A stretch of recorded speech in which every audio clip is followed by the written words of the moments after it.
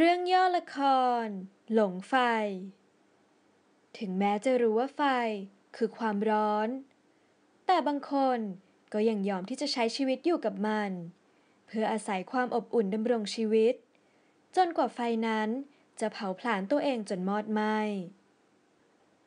การแก้วเป็นสาวสวยที่มีฉากหน้าทำงานเป็นพนักงานออฟฟิศทั่วไป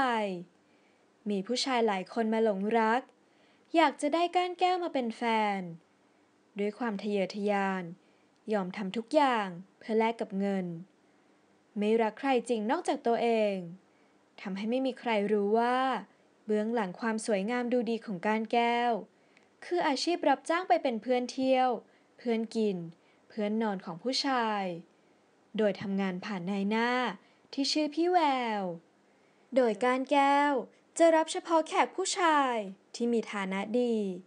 มีอาชีพการงานดีๆ ทั้งชาวไทยและต่างชาติ และบอกว่าตัวเองมีอาชีพพิเศษเป็นไกด์แต่มีชาลาเพื่อนสาวคนสนิทคนเดียว ที่พอจะรู้ความลับของการแก้ว แต่ก็รู้เท่าที่การแก้วยอมเล่าให้ฟัง รวมทั้งกุญชร ชายหนุ่มที่จริงใจ สุภาพ ขยันทำมาหากิน มีความฝันอยากมีชีวิตที่ดี มีครอบครัวที่มั่นคงกับคนรัก ซึ่งเป็นเพื่อนกลุ่มเดียวกันกับก้านแก้วและชาลา โดยกุญชรเป็นอีกคนที่รักและตามใจก้านแก้วทุกอย่าง ไม่ว่าก้านแก้วอยากได้อะไร ก็จะพยายามหามาให้ จึงเป็นคนที่ก้านแก้ว สามารถแสดงอารมณ์ และฤทธิ์เดชใส่ในเวลาที่ไม่ได้ดังใจ วันหนึ่งการแก้ว ได้เจอกับโชนชายหนุ่มลูกเศรษฐี ใช้ชีวิตหรูหรา ชอบเที่ยวเล่นเรื่อยเปื่อย มีความสุขไปวันๆ ไม่ค่อยคิดถึงอนาคตทำอะไรก็ไม่เคยคิดถึงใคร นอกจากความต้องการของตัวเอง โดยฐานะร่ำรวยของโชน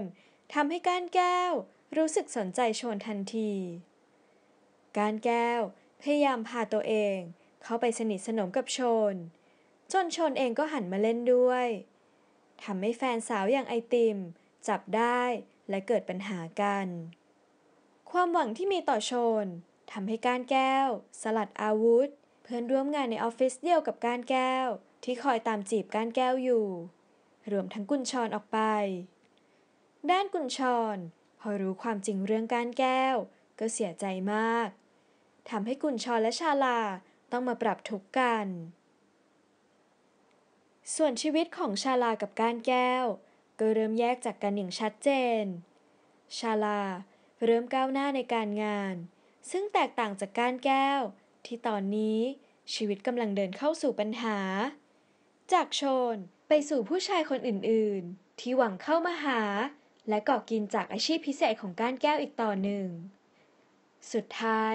ชีวิตของก้านแก้วจะดำเนินต่อไปอย่างไร ติดตามชมกันได้ในโปรเจกต์ The Writer เรื่องหลงไฟ ได้ทุกวันจันทร์อังคาร เวลา2ทุ่ม20 ทางช่อง GMM 25เริ่มตอนแรก วันจันทร์ที่ 24 กรกฎาคมนี้